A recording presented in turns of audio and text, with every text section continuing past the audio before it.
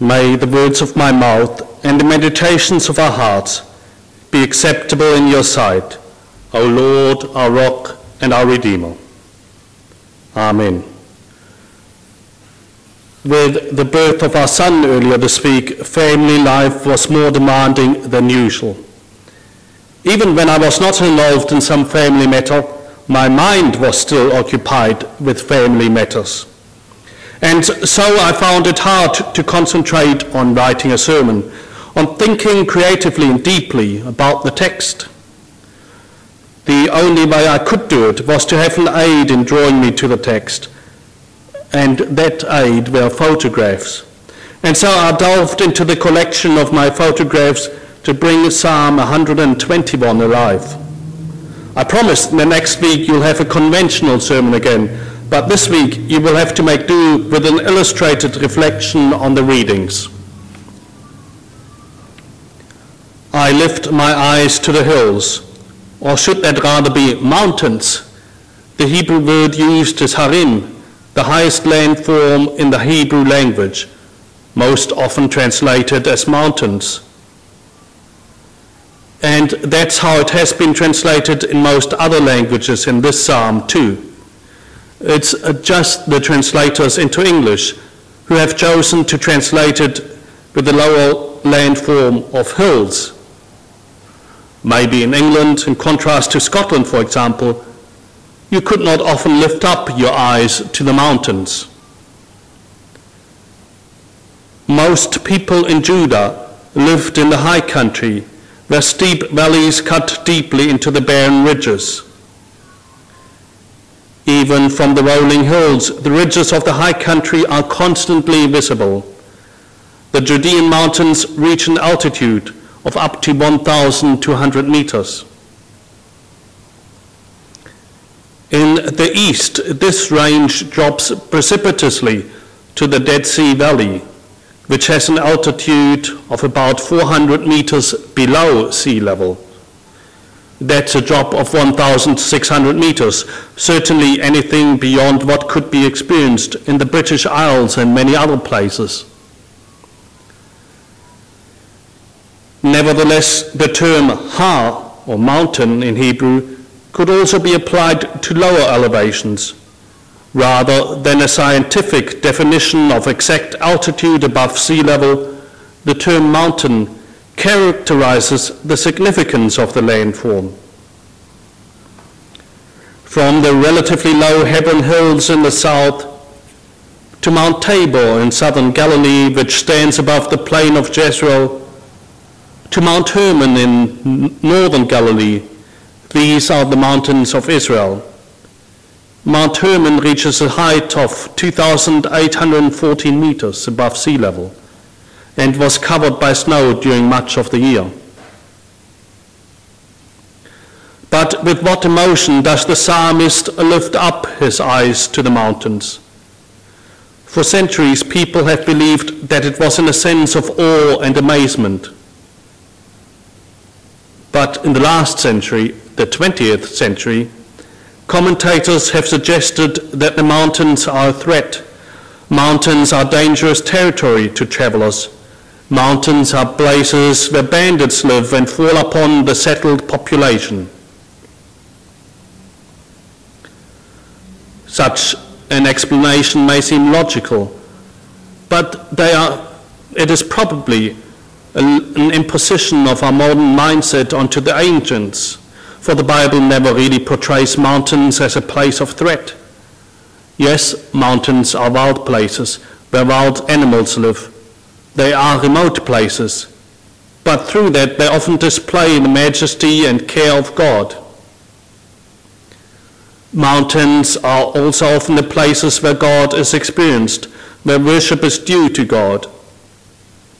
To this day, monasteries are often erected on or amid mountains, here where people for millennia have had a profound sense not only of God, but also of their own place in the world.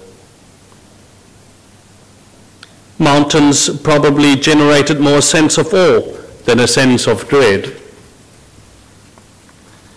People experienced mountains in their daily lives. But but there is an argument that the mountains referred to here in the psalm were the mountains of Jerusalem, a place of pilgrimage. After all, the psalm is labeled a song of ascent, which has often been understood as a song associated with pilgrimage to Jerusalem. Jerusalem, of course, in that time did not look so impressive as it looks now, but it was a significant city nevertheless. Some commentators suggest that this psalm was prayed as pilgrims caught their first glimpse of the heights of Jerusalem. Other commentators thought that after the uplifting experience of a service in the Temple of Jerusalem, this was the blessing and assurance that pilgrims would take with them into their daily lives. Whatever it was, it is clear that the psalm expresses a profound trust in God, both in daily life and at those special moments of awe and wonder. Or in a common metaphor, the psalm declares that God is with us, both in mountaintop experiences and when we walk through the valleys of life. The Psalms not only inform us about ancient piety or universal sense of awe, wonder, and sorrow. No, Psalms call the people of God to prayer.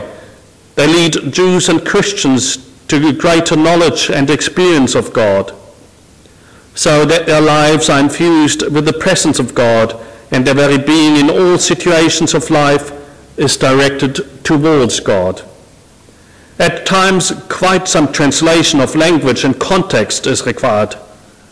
At other times, the Psalms can lead our prayer more directly.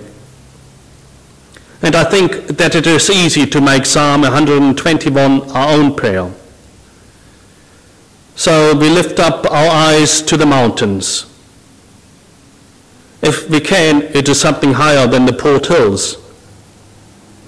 We lift our eyes to the mountains in the presence of the Lord, we may feel insignificant. We are only a speck of dust in the vastness of the landscape. And so the call comes to our lips. Where does my help come from? In this world, where among humans I am just one in the crowd. Where does my help come from? In the wild places where I sense the wonder and awe of the eternal, where I see a beauty not formed by human hands. In such a world, our lives begin to take on a new perspective, and we realize that it is no use to strive to try to control our own little lives. My help comes from the Lord, the maker of heaven and earth. That the creator and sustainer of the universe should be concerned about me, me, the insignificant mortal, that is astounding. But when we embrace this assurance, it is comforting. If we bring the witness of our ancestors of the faith, if we bring the words of the Bible and the experience of the world together, then we can learn to trust God in all situations of life. Looking at nature to learn more about our relationship with God is an important part of Christian understanding. Jesus frequently did this. Look at the birds of the air. They do not sow or reap or store away in barns, and yet your heavenly Father feeds them. Are you not much more valuable than they? Who of you by worrying can add a single hour to the, his life?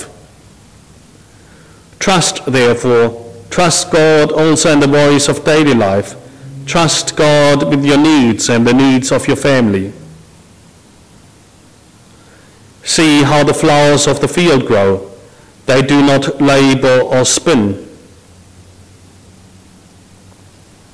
See how the mountain daisies grow in inhospitable places. Yet I tell you that not even Solomon, in all his splendor, dressed like one of these. If that is how God clothes the grass of the field, which is here today and gone tomorrow, will he not much more clothe you, O you of little faith? So do not worry, saying, What shall we drink, or what shall we wear? For the non believers run after all these things, and your heavenly Father knows that you need them. But seek first his kingdom and his righteousness, and all these things will be given to you as well. So entrust your ways to the Lord, the maker of heaven and earth. He will not let your foot slip. He who watches over you will not slumber. God is concerned about you wherever you go, and God is with you whether you feel confident or not. Indeed, he who watches over Israel will neither slumber nor sleep. Even at times when God seems distant and uninvolved, God is at work in the world and at work in our lives. The Lord watches over you. The Lord is your shade and your right hand. Know that God is with you every step of the way, that when you feel powerless and overwhelmed, God will protect you and give you strength to carry on. The sun will not harm you by day. Though you feel thirsty and exhausted, though you walk through dry places, God will refresh you, will not let the heat overwhelm you. The moon will not harm you by night, for God will quieten your fears. All that threatens to overtake you and that dispirits you. The Lord will keep you from all harm. He will watch over your life. So entrust your life to the Lord. Do not think that you need to control every aspect of your life. For the Lord will guide your life, will guide you in big decisions and small, will watch over the ordinary and the momentous events. The Lord will watch over your coming and going, both now and forevermore. I lift up my eyes to the mountains. Where does my help come from? My help comes from the Lord, the maker of heaven and earth.